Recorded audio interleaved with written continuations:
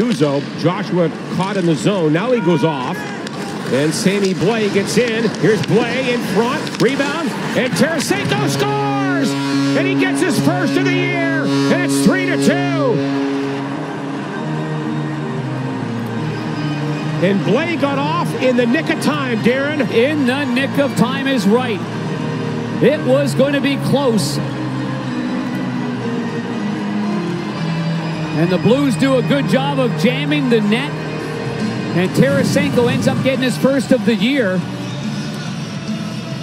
The play by Bortuzzo to Blais.